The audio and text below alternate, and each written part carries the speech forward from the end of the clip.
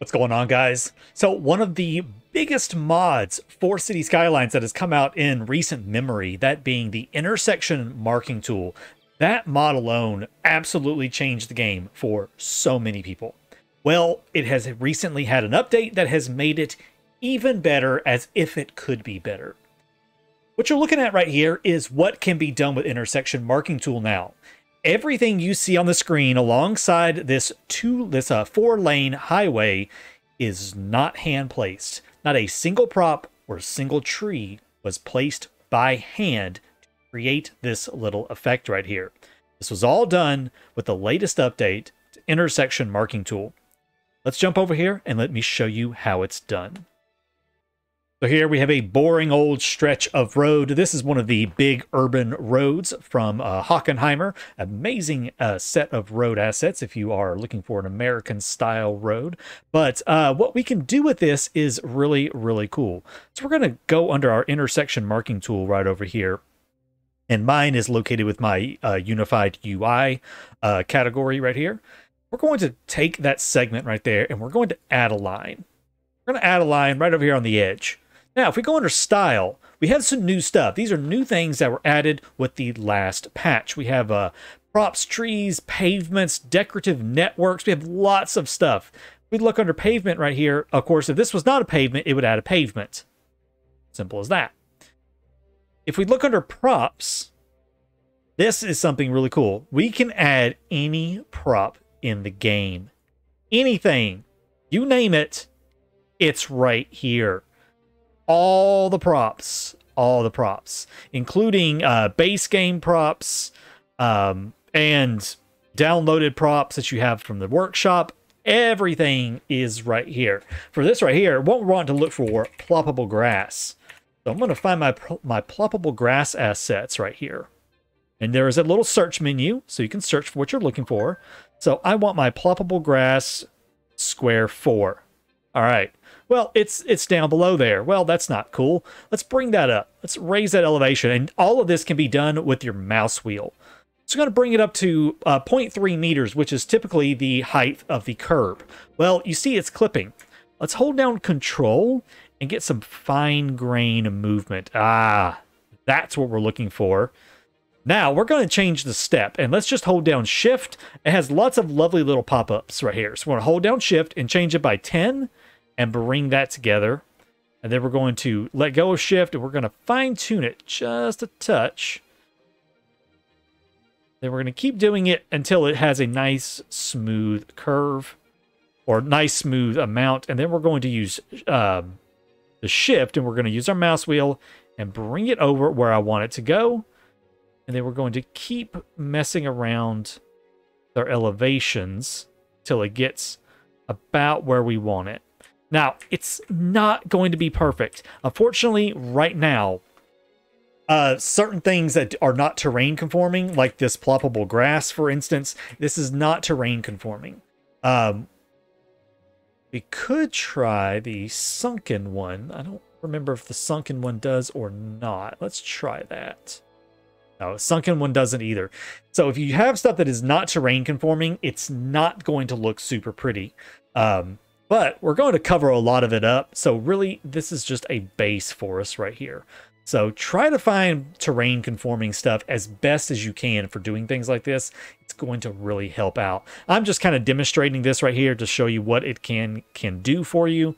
Uh, you know, I would probably try to make it a little bit more perfect later on. So, boom, we have grass.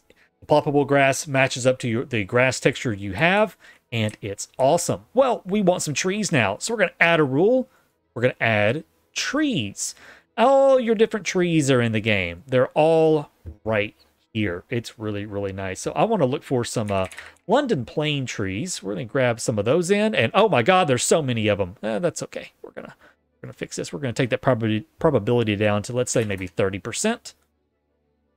We're going to bring those up to 0.3, which again is the height of uh, the curb and then we're going to bring those back. Now, you had to play around sometime with the scroll wheel to figure out which way you want everything to go. I want these to come back to maybe about 0.4 off there. Okay, so that's a start. Not bad. You can change the on the uh, offset or the on the offset before or after. That just changes uh, how far apart at the beginning of end it change. Uh, you know that they can start. You just change all those at your leisure, however you want to do it.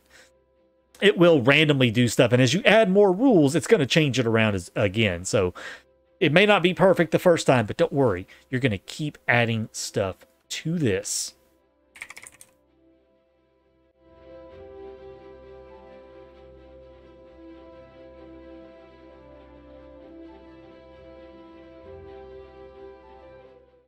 There we go. Now we've got a really nice little roadside. So there's other stuff we can add, of course, as well. Things like uh, decorative networks.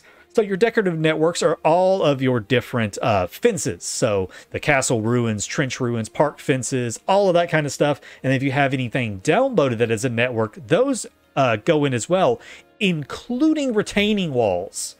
Including retaining walls. No more having to sit there and fight to try to get retaining walls uh, along. A lot of people use retaining walls for their highways or different things like that. Now we can add them in.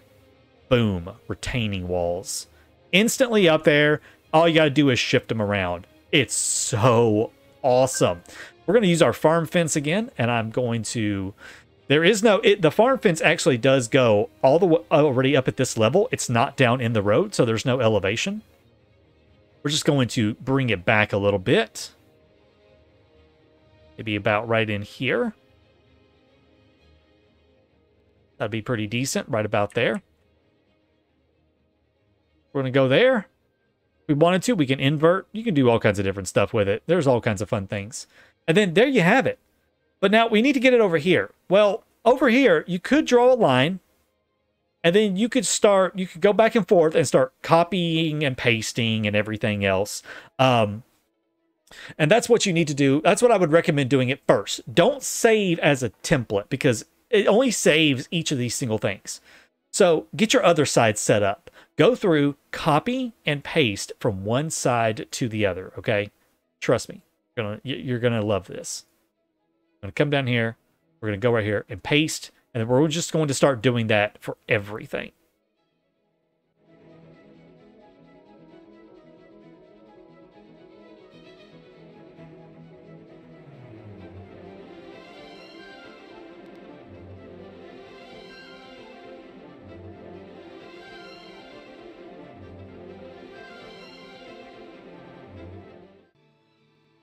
All right, there we go. Uh, don't worry too much about how it looks going up, going in. All we're doing right now is kind of getting it set up and get the basics in there. So now what you really want to do is you actually want to take one of these and you want to set, you want to go up here to the top and you want to set save this as a preset. Now I already have the preset done, road trees right there. It's a it's a slightly different one, so let's call this uh, road bushes because I have bushes on this one. So that's road bushes. So now we've saved this as a template. So now what I can do is we can go to another section of our road right here. And all we have to do is go into presets. And right here, we select the one we want, hit apply, boom. It's done. It's in there. It's finished it's already done. And if I'm not super keen on maybe how it's done some of that, I can go in here and fine tune it. Maybe I don't like how it's done maybe some of those trees. We'll just go in there, we'll, we'll kind of play around with it until it kind of gets exactly where I want it to go. It's all you got to do is kind of sit there and play with it a little bit. You can fine tune things and try to get it kind of where you want and looking how you want. You the possibilities are absolutely endless with this. But once it's in there, it's in there. And now look, we have a lovely tree-lined, fence-lined, four-lane highway running through the town. That is so cool. And not a single prop or anything has been used. We go under trees, props, you can see nothing. It's all built into the network. It is absolutely amazing. And you can create all this kind of stuff right here like I've done. Now you can see it's kind of uh, kind of got a little weird because we're going uphill, so I'd have to come back and fine tune this.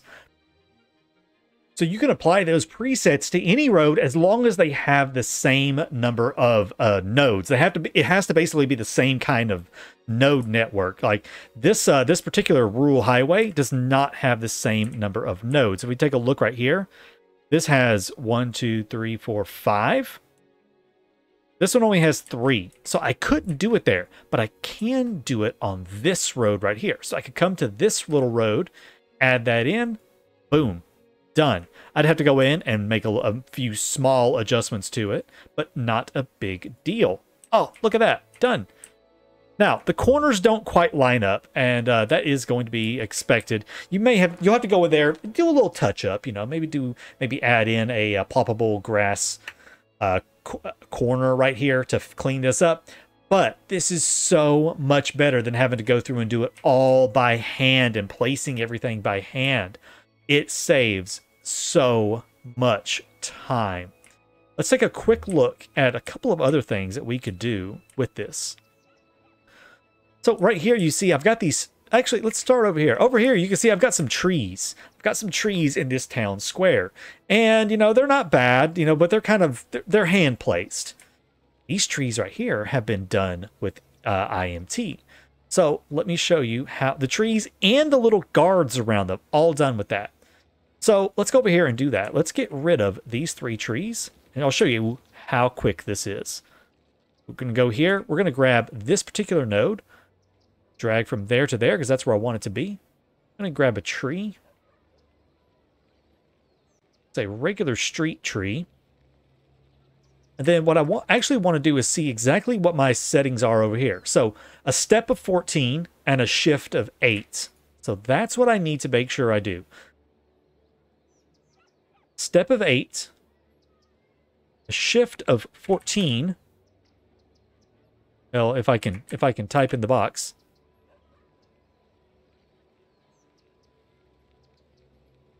Okay, so it put them in some weird places compared to that one. And I did it and I did it backwards.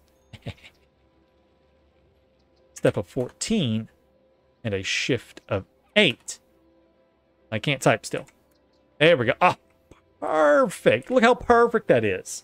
Okay, that's where I want them to go. So we're just going to add a rule. We're going to add another prop. I'm going to grab those guards again. And again, we're just going to do the same thing. Make sure I'm doing this right. Step of 14 and a shift of 8. I always have to double check. Boom. And there they are, perfectly aligned with our little trees right there. That makes me so happy. I would come through the entire downtown and redo this entire thing. Uh, something another fun little thing you could do is we can if I wanted maybe some brick right here, we could come over here. We can add a rule. Again, we're gonna add a prop. Yeah, let's find my uh, let's find some brick paving tile maybe right here. Actually, no, it's a uh, paving. There we go. Let's find this paving right here.